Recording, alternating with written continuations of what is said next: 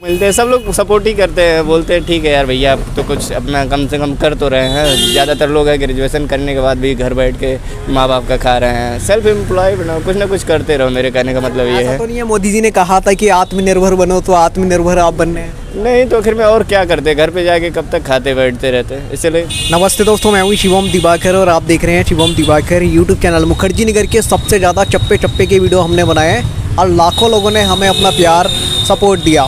दोस्तों, आज हम फिर से मुखर्जी नगर में हैं, जिसको किताबी रंग बिरंगी दुनिया कहा जाता है। आज की वीडियो में हमारे साथ एक दोस्त हैं, यूपीएससी की तैयारी करते हैं और आपको जान के खुशी होगी, उसके साथ साथ चाय की दुकान लगाते हैं। इनकी चाय की दुकान का नाम है स्टूडेंट चाय वाला इनसे ही जानेंगे आखिर क्यों स्टूडेंट चाय वाला इन्होंने अपनी दुकान का नाम रखा और ये आखिर अपनी तैयारी कब करते हैं? चाय की दुकान यहाँ लगाते हैं फिर पढ़ते कब हैं ये कहाँ से हैं और कितने दिनों से लगा रहे हैं? और कुछ दोस्त यहाँ पे बैठे भी हैं हमने भी इनकी चाय पी थी इनसे ही जानेंगे। तो सबसे पहले तो आप ये बताइए आप कहाँ से हैं और क्या नाम है आपका? मेरा नाम महावीर शर्मा मैं गोरखपुर उत्तर प्रदेश से हूँ और मैंने बीटेक कानपुर से कंप्लीट किया है ए के टी यू से। अच्छा बीटेक करने के बाद में क्या एमबीए चाय वाले को टक्कर देने आया है स्टूडेंट चाय वाला? ऐसा ही समझ लीजिए जैसे कि बात ये है ना कि जॉब करने गया था फार्मास्यूटिकल कंपनी में वहाँ पर जूनियर को लोग बहुत दबा के रखते हैं। अच्छा नहीं लगा इसीलिए हम कहें चल के कुछ अलग करते हैं कुछ नया करते हैं। तो ये कम बजट में हो जाता है इसीलिए हम लोग सोचे इसी को स्टार्ट करते हैं। अच्छा एक दिन में यहाँ पे आप लगभग कितने रुपए की चाय बेच देते हैं और कितने दिनों से यहाँ पे लगा रहे हैं?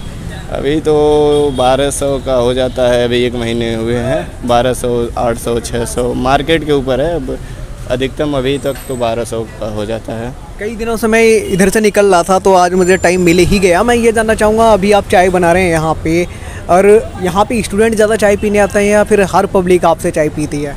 स्टूडेंट ज़्यादा आते हैं। अभी तो काफ़ी लोग तो दोस्त हो गए हैं दृष्टि के तमाम लोग हमेशा ढूंढते हुए आते हैं। एक बार मेरा एमसीडी वाले उठा ले गए थे तो भी वो लोग पूछ रहे थे कि भैया चाय क्यों नहीं लगा रहे लगा नहीं रहे हो? यहाँ तक कि मैं लोगों को गाइड भी करता हूँ ना कि कैसे तैयारी वारी करनी है। क्या सिलेबस है क्या पढ़ना है एन पढ़नी है कि क्या पढ़ना है गाइड करता रहता हूँ तो वो लगाते रहते हैं। आप यूपीएससी मेंटर भी हैं क्या? चाय भी बेचते हैं यूपीएससी मेंटर भी हैं खुद भी तैयारी करते हैं? अच्छा खुद कब पढ़ते हैं? टाइम कैसे निकालते हैं? पढ़ने को तो मैं दिन भर जैसे द हिंदू पढ़ता रहता हूँ पेपर मेरा रोज़ आता है हिंदी इंग्लिश दोनों पेपर आता रहता है। पढ़ने को मैं दिन भर पढ़ता रहता हूँ काम भी करता रहता हूँ। और N C R T Y T तो मैंने मतलब अपने कॉलेज में सेकेंड ईयर से ही पढ़ना स्टार्ट कर दिया था। ऑप्शनल क्या है? ये मन में कहाँ से आया कि यूपीएससी की तैयारी करूँ? और यूपीएससी की तैयारी करने अगर आप गोरखपुर से आए थे सीएम सिटी से, मुख्यमंत्री जी का एरिया कहा जाता है योगी जी का? तो ये चाय की दुकान का ही कहाँ से आपकी चाय ऊपर को आ रही है? थोड़ा इसको सही कीजिए, वरना फैल जाए।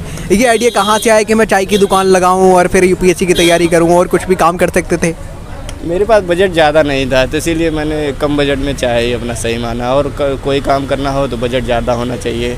चाय सही लगा, कम बजट में हो गया मेरा काम। और तैयारी भी चल रही है साथ में। अभी आप तैयारी में यूपीएससी की तैयारी आपकी कहाँ तक हुई है? ऑप्शनल वगैरह क्या है? आपका कोचिंग वगैरह कोई ज्वाइन किया या नहीं?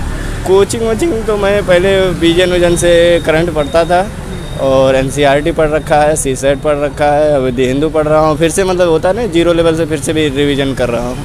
आपकी जो तो चाय की दुकान है यहाँ का एड्रेस क्या है? दोस्तों एक बार आप लोकेशन देखेंगे तो इधर साई प्रॉपर्टी है उसके जस्ट सामने है ऑन रोड पे है ये लोकेशन है।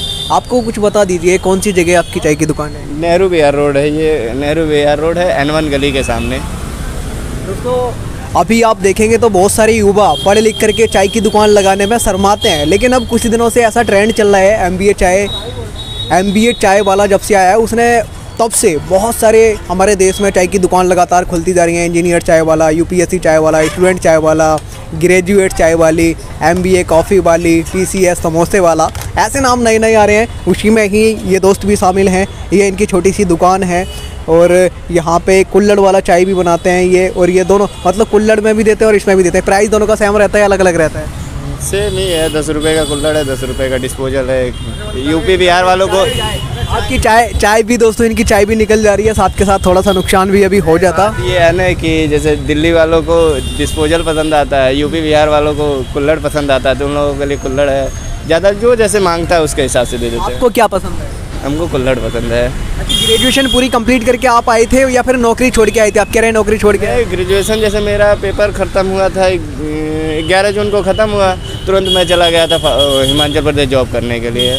वहाँ दे रहे थे, लेकिन सैलरी वाली सही नहीं था और वहाँ ये था ना कि मैं काफ़ी जूनियर पड़ जाता था। जो भी थे, छब्बीस, सत्ताईस साल पार थे मेरा अभी तो बाईस सौ चल रहा है।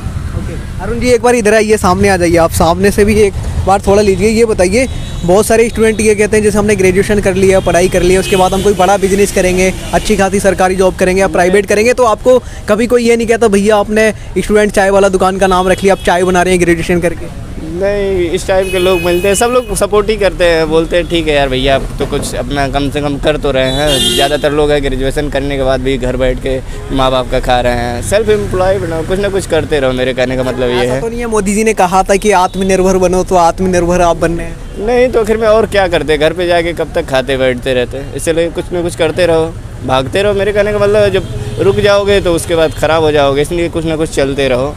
अच्छा एम बी ए चाय वालों को टक्कर देने वाले हैं क्या? उनसे कुछ तगड़ा कंपटीशन है या फिर बड़ा आ, मतलब कई सारी ब्रांच खोलेंगे? ऐसा कुछ प्लान है अंदर से या नहीं? टक्कर देंगे? अभी तो फ़िलहाल यूपी से क्लियर करना है उसके बाद खुद प्लान बन जाएगा कि मुझे क्या करना है कैसे करना है। अच्छा कोई मकसद नहीं था लेकिन आपकी थोड़ा पढ़ाई का आपका यहाँ पे सही से खर्चा पानी नहीं निकल पा रहा था इसलिए आपने पार्ट टाइम में ये दुकान खोली। पार्ट टाइम ही समझ लीजिए।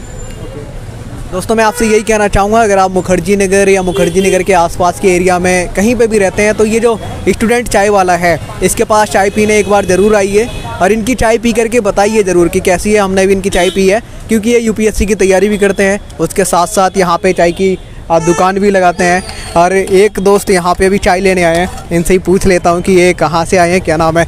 आप डेली चाय पीने आते हो अभी अभी आए हो आज ही आए हो जी हम तो यहाँ पे डेली चाय पीने के लिए आते हैं। कैसी चाय बनाते हैं ये? चाय अच्छी है। क्या नाम है आपका? मोहम्मद अबरार। आप क्या करते हैं मोहम्मद अबरार जी यहाँ पे? कारपेंटर। डेली इसी टाइम पीने आते हैं या सुबह सुबह भी आते हैं? मैं तो दिन में सात आठ बार चाय पी लेता हूँ यहाँ। सात आठ बार चाय पीते हो यार यानी पानी की तरह आप तो चाय पीते हो। मालूम कर लो ना। अच्छा। फिर पानी कितना पीते हैं एक दिन में? बिल्कुल ऐसे ही कुछ भी समझ लो। चलो बहुत बढ़िया लगा आपसे जान करके। तो दोस्तों इनकी ये छोटी सी दुकान थी आप एक बार यहाँ पे ज़रूर आइए चाय पीने अगर आप मुखर्जी नगर इसके आसपास के एरिया में कहीं पे भी रहते हैं। अच्छा आपसे कोई कांटेक्ट वगैरह करना चाहे तो आपका मोबाइल नंबर वगैरह क्या है वो ज़रूर बता दीजिए। Seven three eight eight seven six four one eight six एक बार दोबारा से बताइए। तिहत्तर अठासी छिहत्तर इकतालीस छियासी महावीर शर्मा। अगर कोई दोस्त इनसे बात करना चाहता है मिलना चाहता है यहाँ पे आना चाहता है तो इनका जो कॉन्टैक्ट नंबर है वहाँ पे इनसे डायरेक्ट बात कर सकता है। आज की वीडियो में इतना ही। जय हिंद वंदे मातरम।